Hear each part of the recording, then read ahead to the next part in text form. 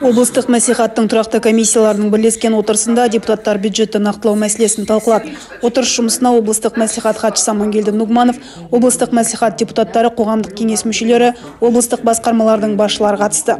Облыстық мәслихаттың 2022-2024 жылдарға арналған облыстық бюджет туралы шешіміне өзгерістер мен толықтырулар енгізу туралы депутаттар алдында экономика және бюджеттік жоспарлау басқармасының басшысы гүлкасима сүйінтаева баяндама жасады.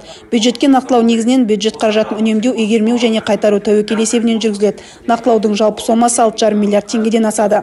Бұл соманы құрылыс тұрғын үй коммуналдық шаруашылық медицина білім беру кәсіпкерлік спорт және басқа да салалардағы мәселелерді шешуге бағыттау ұсынылады. Баяндаманы егжей тегжейлі талқылап депутаттар өз сұрақтарын қойды. Атап айтқанда белгілі бір жобаларға қаражат бөлудің себептері сұрақ туғызды. Себебі депутаттардың пікірінше аталған қаржыны неғұрлым маңызды мәселелерді шешуге бағыттауға болар еді.